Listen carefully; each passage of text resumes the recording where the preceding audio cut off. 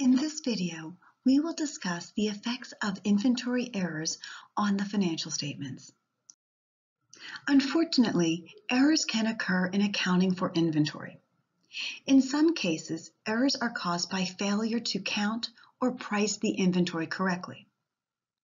In other cases, errors occur because companies do not properly recognize the transfer of legal title to goods that are in transit. When inventory errors occur, they affect both the income statement and the balance sheet. The ending inventory of one period becomes the beginning inventory of the next period. Inventory errors affect the calculation of cost of goods sold and net income in two periods. If beginning inventory is understated, cost of goods sold will be understated and net income will be overstated. If, however, ending inventory is understated, cost of goods sold will be overstated and net income will be understated. This table shows the effects of inventory errors on the current year's income statement. To solve this multiple choice question, let's first solve for cost of goods sold.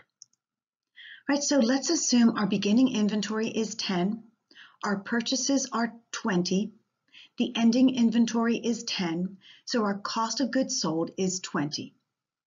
Now let's go ahead and understate the ending inventory. Beginning inventory remains the same at 10. There's no change in our purchases, that's going to remain at 20, but our ending inventory is going to be understated or lower. In this instance, it's 5 right? Which means our cost of goods sold is 25, right? Our cost of goods sold is overstated.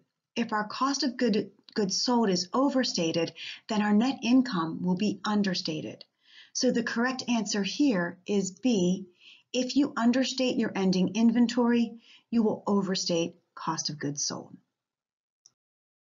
An error in the ending inventory of the current period will have a reverse effect on net income in the next accounting period.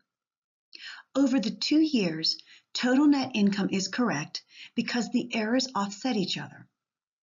The correctness of the ending inventory depends entirely on the accuracy of taking and costing the inventory at the balance sheet date.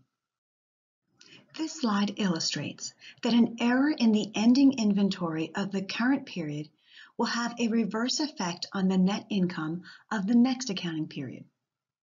Over the two years, total net income is correct because the errors offset each other.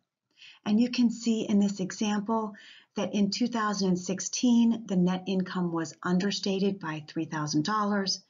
And then in 2017, net income was overstated by $3,000 so that these two errors offset each other at the end of year two.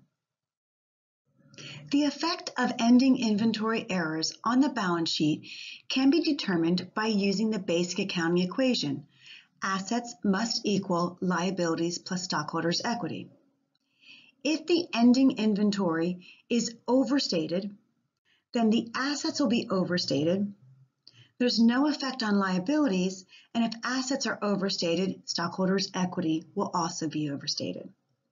Whereas if the ending inventory is understated, the assets will be understated as well as stockholders' equity.